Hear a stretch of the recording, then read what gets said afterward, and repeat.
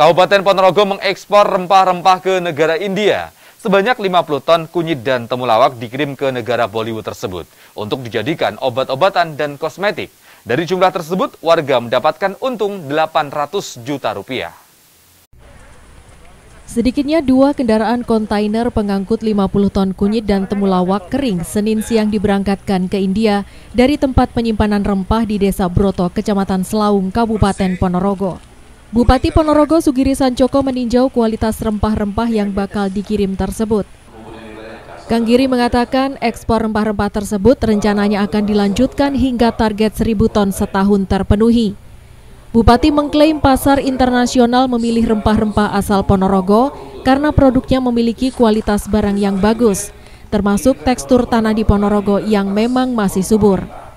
Ini ada ekspor perdana dua kontainer sesungguhnya ya Pak, dua kontainer, untuk tujuan adalah India.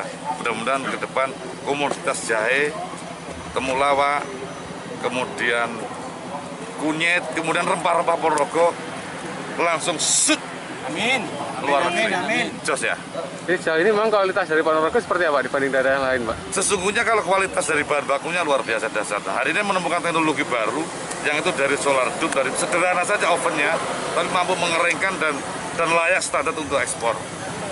Jadi mudah-mudahan ke depan tidak hanya satu ini, tapi banyak banyak pedagang, banyak petani yang mampu mengelola dan membuat uh, teknologi kecil sederhana ini bisa mampu menembus pasar luar negeri.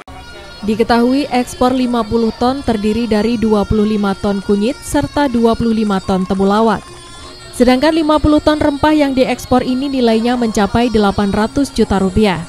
Ke depannya Bupati berharap agar masyarakat meningkatkan produktivitas pertanian sehingga taraf hidup masyarakat di Bumi Reok menjadi lebih baik. Ega Patria, JTV, Ponorogo.